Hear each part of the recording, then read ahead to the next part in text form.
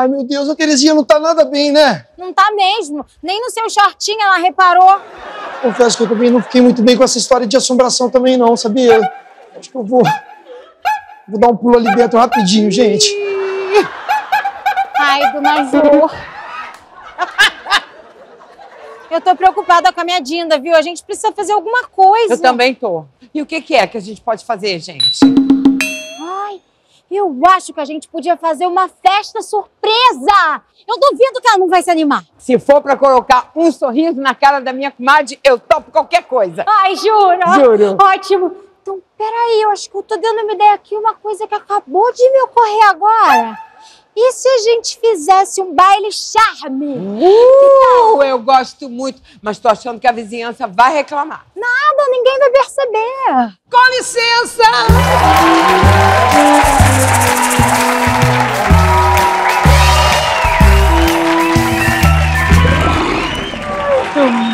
Josinha, querida, olha, desculpa, foi entrando assim displicente já, entendeu? Então, bom dia, tudo bem? Bom dia, dona Yolanda. Que isso, não me chama de dona, meu bem. Por favor, a gente já tem intimidade, não é? Temos.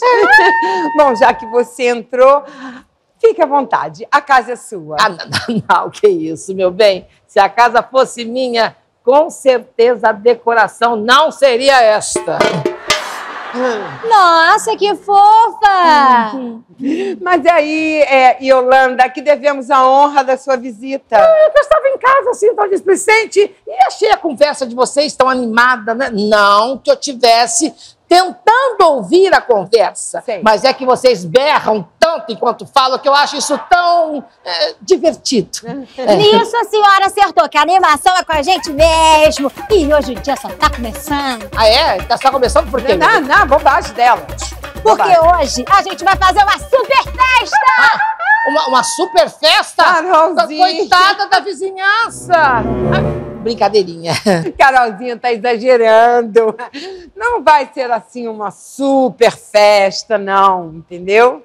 É, fica tranquila, dona Coisinha. A gente vai deixar o som bem baixinho, ó. É, você não se importa, né? Claro que não. Ah, olha, então compreensiva. Desde que eu seja convidada. É, mas é, a gente estava falando disso agora mesmo, que a gente ia convidar você. Tava! Tava, não lembra? Tava! Olha que curioso! Por um instante me passou assim que você estava tentando esconder de mim, Josinha. Imagina, ioiôzinha. É porque realmente vai ser assim, um petit comitê, entendeu? Só pra gente animar a Terezinha. Por quê? TT tá deprimida. Tá! Com saudade do falecido finado. Ah! É, sabe o que é assim? É. Você entende porque você é viúva, entendeu?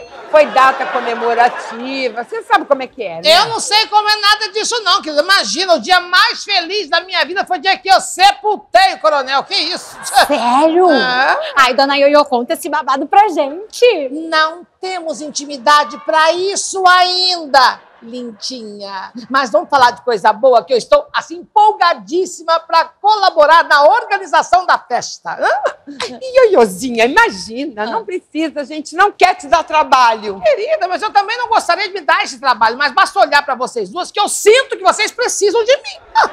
Olha, sabe que eu gostei dessa ideia? Então você vai ajudar a Carolzinha. Me ajudar? Ah, não vai dar. Vai ter que dar, meu amor, vai ter que dar, porque olha quanto que eu tenho que estudar.